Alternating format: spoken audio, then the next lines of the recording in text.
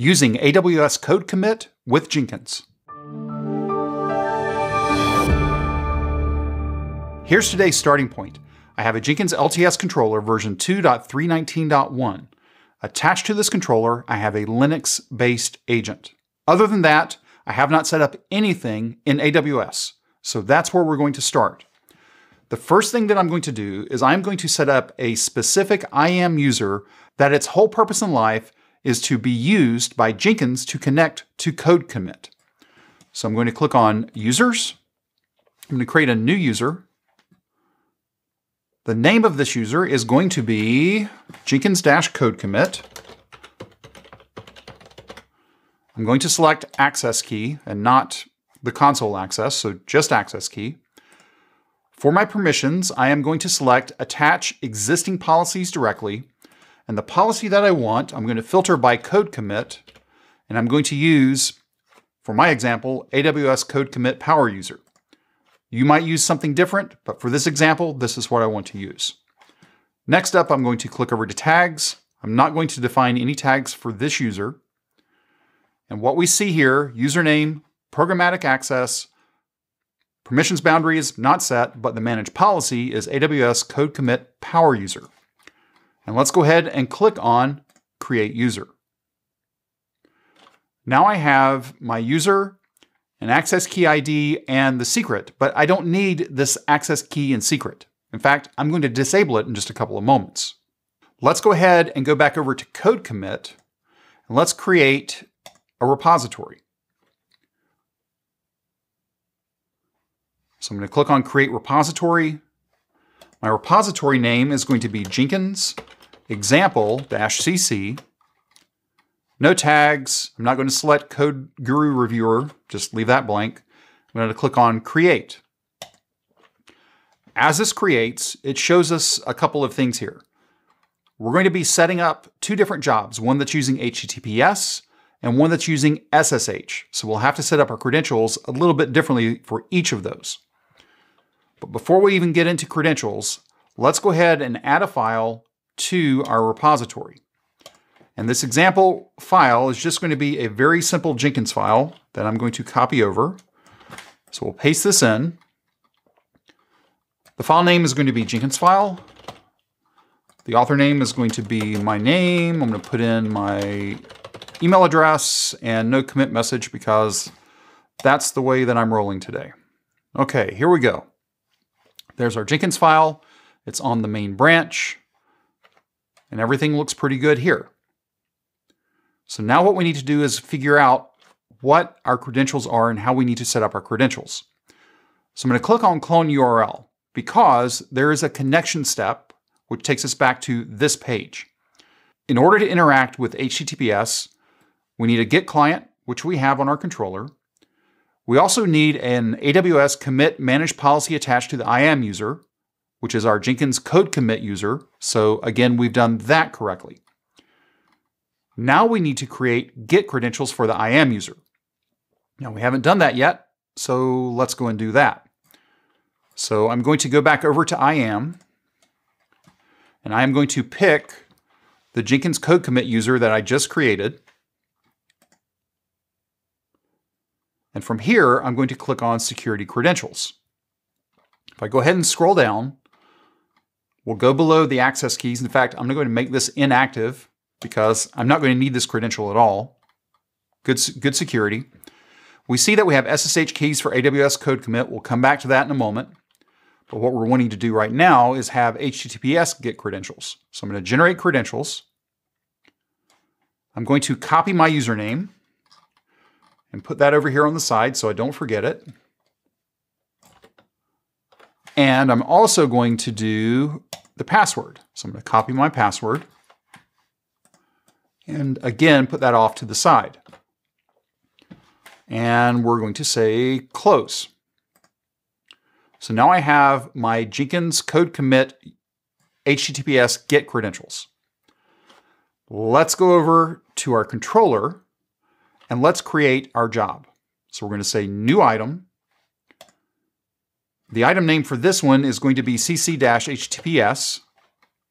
I'm just going to do pipeline for this one and click OK. If I go down here to my pipeline definition, I'm going to change it from SCM.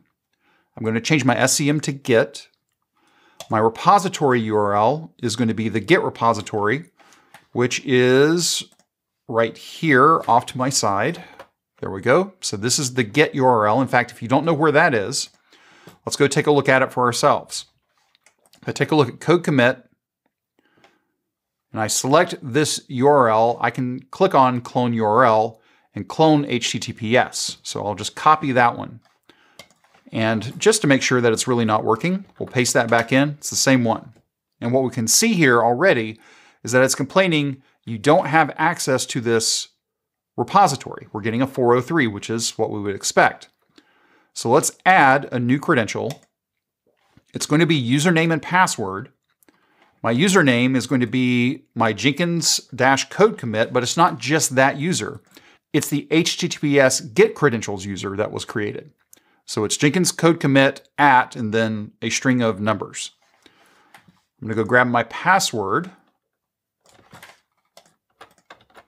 And the ID, I'm just going to say cc-https and do the same for my description. Click on add. Now I'm going to select this credential. Watch what happens to the error. The error is gone.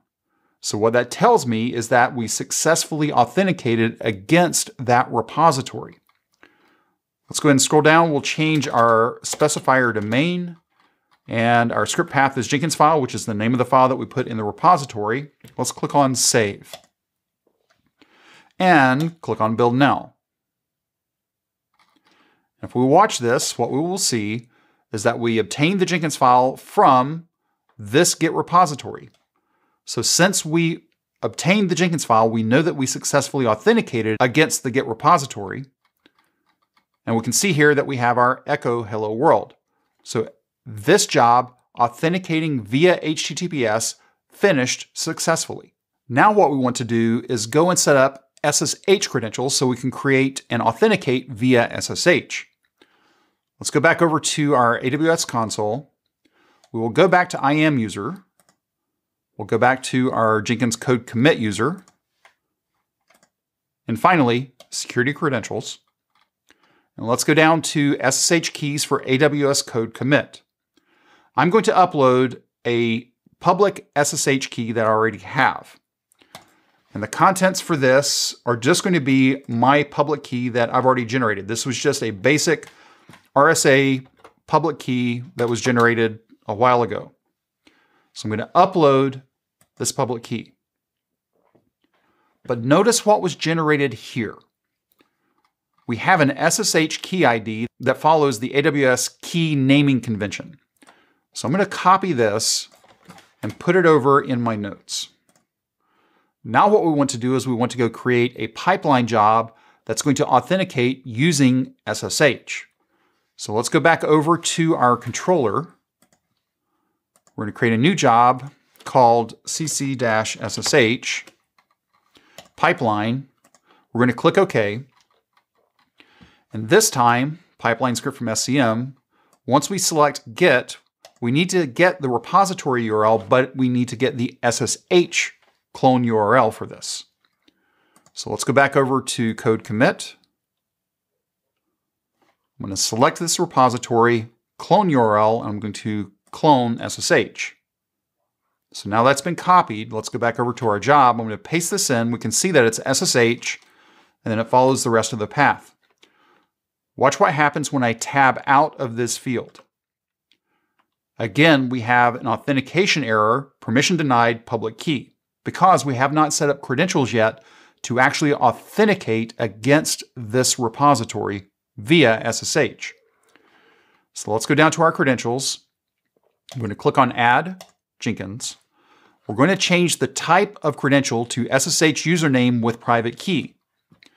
Now, here's where it gets interesting and probably not what you would expect. I'm going to go ahead and set the ID and description to cc-ssh.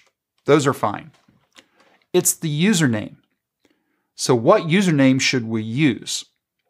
Would it be the username that was associated with the private key that I created? No.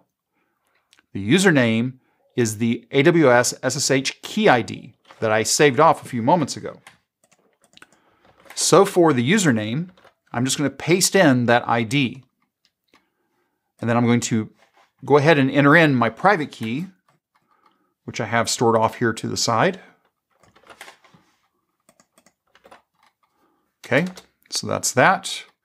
And that key has no passphrase. We'll go ahead and click on Add. Now, as I select this credential, watch what happens. So CC SSH.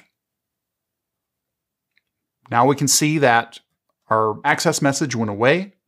So we're going to assume that everything is okay up to this point. Change our branch specifier to main. Script path is still Jenkins file. Click on Save and click on Build Now.